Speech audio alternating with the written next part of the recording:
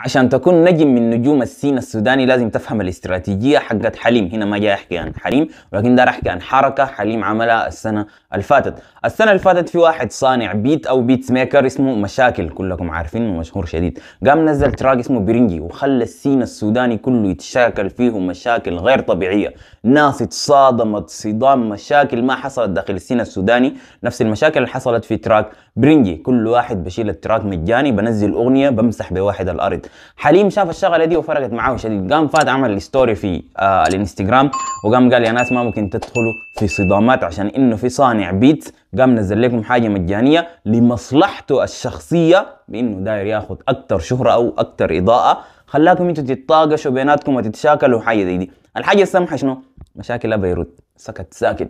تعال نشوف في 2023 حصل شنو؟ حصل لغاء بين مشاكل وحليم وبقوا أفضل فرد وبقوا شغالين مع بعض، يعني في الوقت الحالي آه في السنة اللي فاتت لو كان مشاكل رد على حليم كان بدت المشاكل وانتهت علاقتهم. أما اليوم هم كأفضل فرد. هنا الرسالة اللي أنا أقدر أوصلها أقول لكم لازم تعمل زي حليم أو تكون زي مشاكل. ما تدخل بيف معي يا زول. اليوم أنا شايف معظم الرابرز دارين يقلدوا أبو باي. كل واحد ماسك له 20 رابرز جليدهم ماسك له 20 رابرز. أعمل نفسي حليم.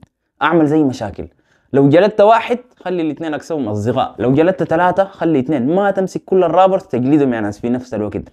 أجلد واحد اثنين وخلي البقية أكسب أصدقاء أكسب علاقات وأكسب حاجة زي دي.